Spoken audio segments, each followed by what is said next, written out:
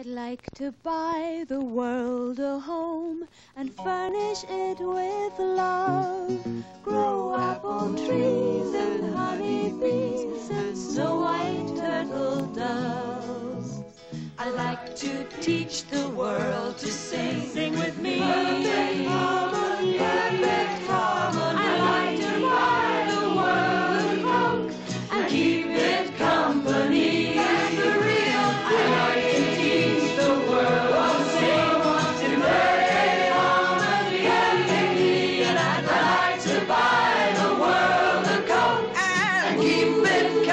Germany.